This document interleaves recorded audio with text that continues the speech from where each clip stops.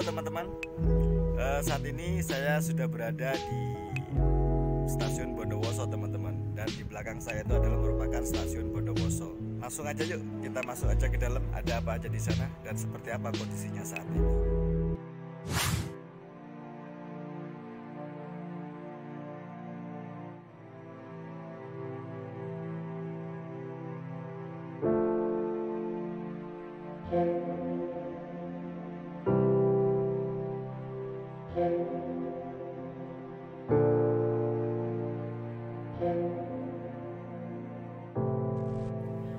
Assalamualaikum warahmatullahi wabarakatuh. Jumpa lagi teman-teman dengan saya Nono di Nono Channel. Oke saat ini saya lagi berada di Kabupaten Bondowoso teman-teman. Dan di sini saya ingin mengajak kalian untuk jalan-jalan mengelilingi kota Bondowoso.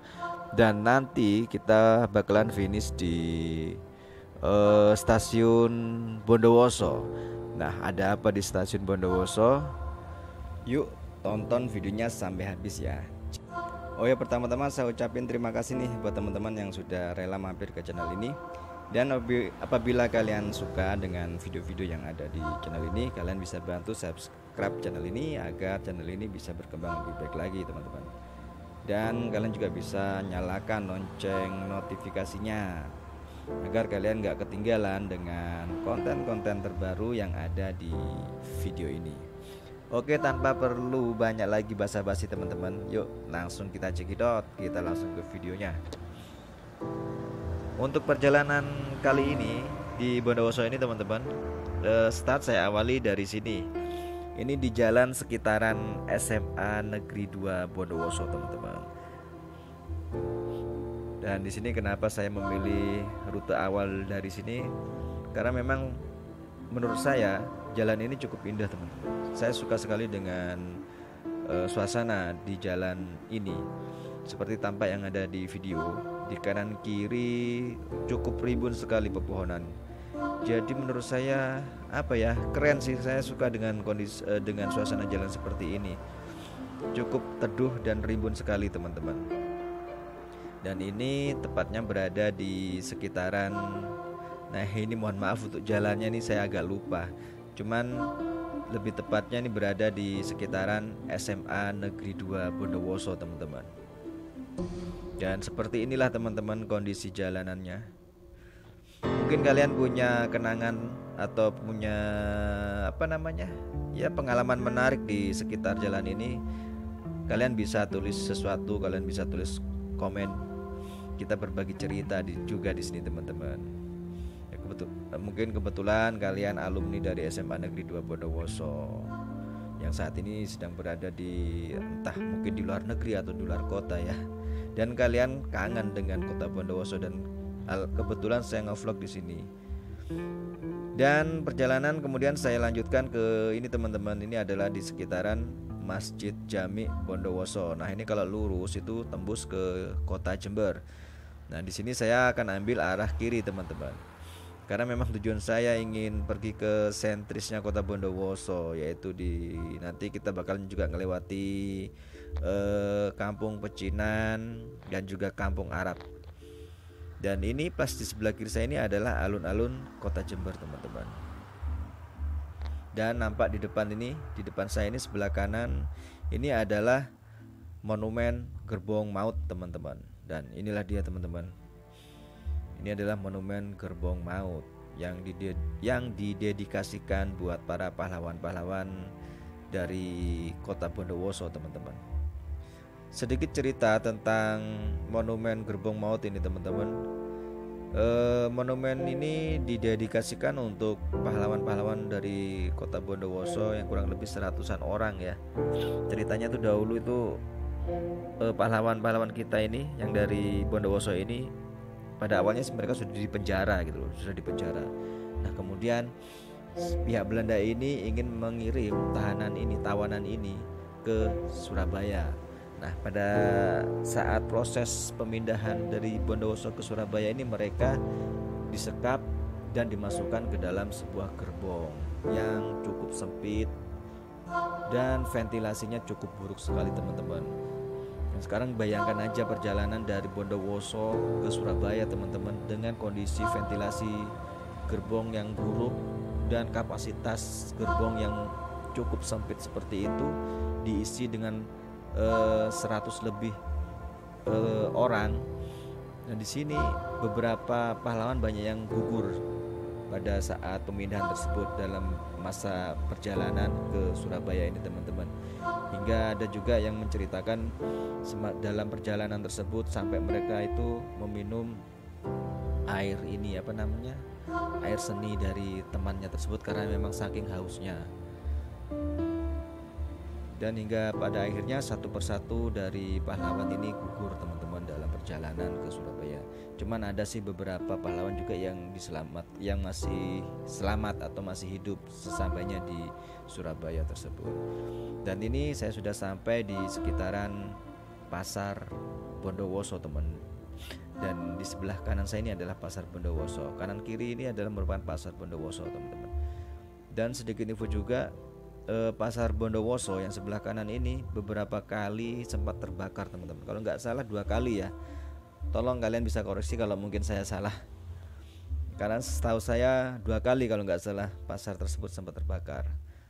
Dan sempat menimbulkan dahulu kala setelah pada saat e, pasar tersebut terbakar pedagang-pedagang ini ditaruh di ya pinggir kanan kiri jalan ini teman-teman. Jadi sempat menimbulkan kemacetan yang luar biasa. Dan ini adalah kita sudah mulai memasuki perkampungan Arab teman-teman Kenapa dinamakan perkampungan Arab? Ya karena memang mayoritas yang tinggal di sini adalah eh, saudara-saudara kita yang keturunan uh, Arab.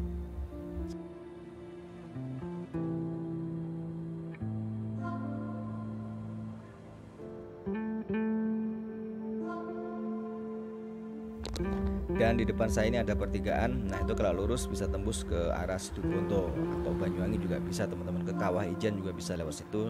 Saya ambil ke arah yang ke kanan ini. Dan di sini ini kalau ke arah kanan ini juga bisa tembus ke kembali lagi ke kota atau ke Jember juga bisa. Dan inilah teman-teman ini adalah kanan kiri saya. Ini adalah perkampungan Arab teman-teman dan di depan saya ini sebelah kiri jalan sebelah kiri saya ini ini adalah terminal dari Kabupaten Bondowoso teman-teman. Cukup sepi sekali teman-teman terminalnya. Dan di sini saya hanya melihat ada dua bus saja. Dan bus tersebut adalah bus jurusan Jember ke Situbondo. Karena memang eh, terminal ini pada saat masa PPKM ini cukup sepi sekali teman-teman. Dan ini sebentar lagi kita bakalan sampai di terminal eh sorry di stasiun Bondowoso teman-teman. Nah, di mana stasiun Bondowoso itu adalah merupakan awal atau di mana pahlawan-pahlawan gerbong maut tersebut berasal atau diberangkatkan dari ter, dari stasiun ini teman-teman. Dan ini adalah merupakan komplek pertokoan di sekitaran stasiun Bondowoso. Nah, inilah dia teman-teman. Saya sudah sampai di stasiun Bondowoso yang sekarang sudah beralih fungsi menjadi museum kereta api.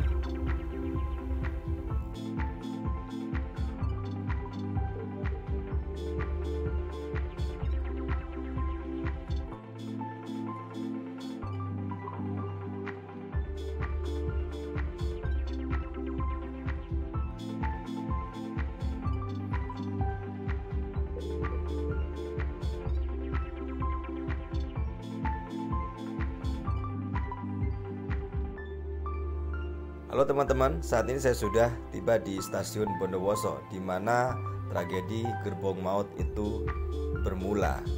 Yuk, kita masuk ke dalam seperti apa kondisinya.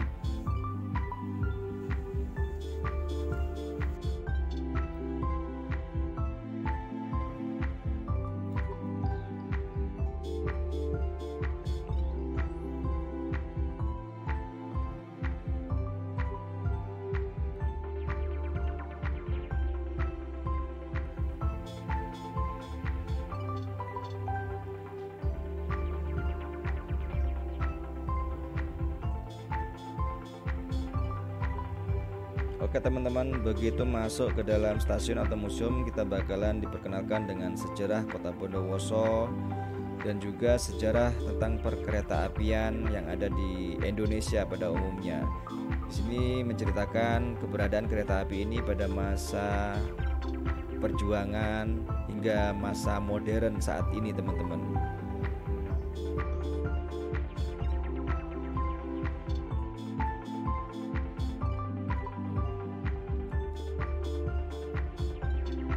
Dan di museum ini kalian juga bakalan menemukan cerita tentang sejarah stasiun Bondowoso berikut jalur-jalur kereta api di Bondowoso teman-teman.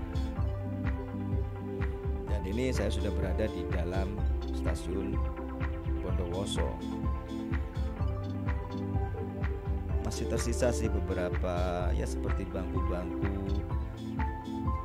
Ini mengingatkan saya tentang memori saya beberapa puluh tahun lalu teman-teman. Karena saya juga mas pada saat kecil saya juga pernah singgah di stasiun ini beberapa kali. Dan inilah dia teman-teman. Masih bangku-bangku masih terawat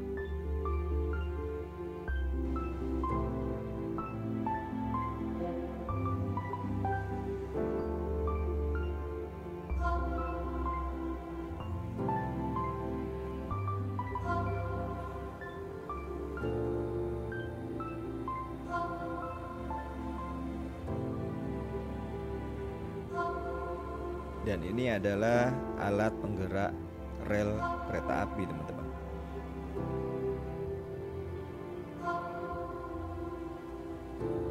Jadi untuk museum kereta api Bondowoso ini tidak menghilangkan ciri khas dari bangunan dan stasiun itu sendiri teman-teman. Dan ini adalah peralatan-peralatan yang digunakan untuk memperbaiki kereta api dan rel-rel kereta api terdapat juga jam kuno dan ini adalah lampu loko uap teman-teman. Ini bias adalah lampu kuno yang biasanya dipasang di lokomotif uap kereta api kuno. Dan di sini juga terdapat agresi sejarah tentang agresi militer Belanda di Bondowoso serta pemindahan tawanan gerbong maut seperti yang saya ceritakan tadi. Dan di sini juga terdapat beberapa koleksi-koleksi foto masa lalu mengenai kereta api teman-teman di Karisinda dan Besuki. Mulai dari stasiun Jember stasiun Banyuwangi kemudian stasiun Bondowoso itu sendiri stasiun Rabi Puji dan beberapa stasiun lagi lainnya yang ada di Karisinda dan Besuki ini teman-teman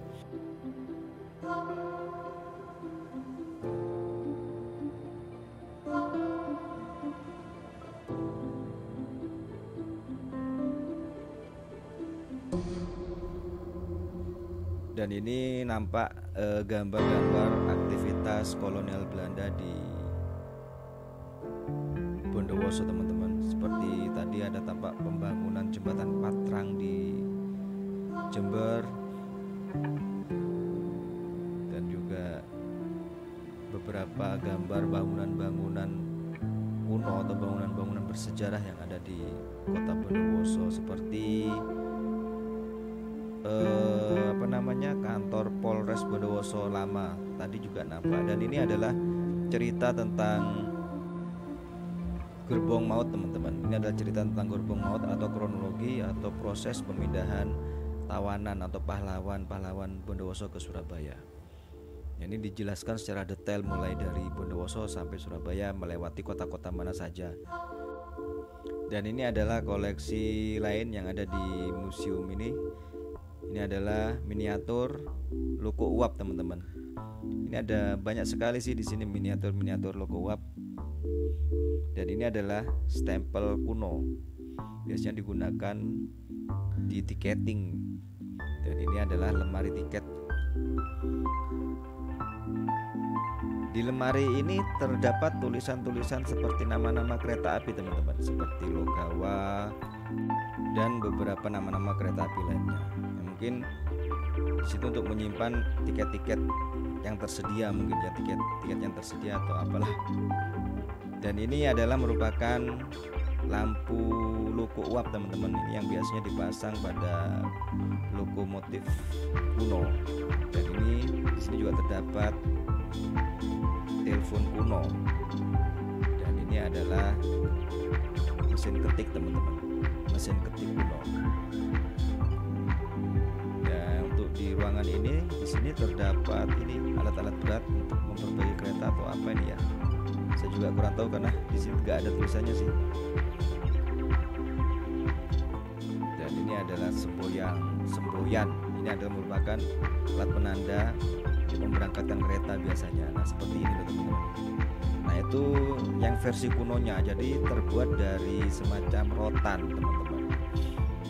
Nah ini dia teman-teman semboyannya dari rotan dan trompetnya juga trompet kuno masih ini dia koleksi-koleksi yang ada di Museum Kereta Api Bondowoso teman-teman. Ini adalah ber, beraneka macam stempel, stempel untuk tiket ya. Nah ini adalah alat pembuat tiketnya teman-teman. Tiket kuno. Mungkin teman-teman masih ada yang pernah merasakan naik kereta api dengan tiket seperti ini. Yuk kalian bisa tulis komen di kolom komentar Kita berbagi cerita juga tentang masa lalu Ini teman-teman macam-macam tiketnya pada zaman dahulu Dan ini adalah timbangan besar Oh ya teman-teman di sini yang dipajang itu bukan hanya pernak-pernik kereta api aja. Di sini juga ada kopi, cengkeh, kemudian tembakau. Karena ini adalah salah satu hasil bumi atau hasil pertanian yang dihasilkan oleh pertanian-pertanian yang ada di Bondowoso pada masa kolonial Belanda dan kereta dan hubungannya dengan kereta api. Kereta api tersebut mengangkut hasil-hasil pertanian yang berasal dari kota Bondowoso untuk didistribusikan ke Batavia, teman-teman. Seperti itulah kisah singkatnya, teman-teman. Oke, teman-teman, itulah tadi penelusuran saya dan sedikit banget cerita tentang berbong maut dan mungkin sedikit ya sejarah tentang Bondowoso. Mudah-mudahan kalian bisa terhibur dengan video ini dan mudah-mudahan ini juga bisa menjadi bahan edukasi baru buat kalian. Sekali lagi buat teman-teman yang mungkin suka dengan video-video yang ada di channel ini, kalian bisa bantu subscribe channel ini agar channel ini bisa berkembang.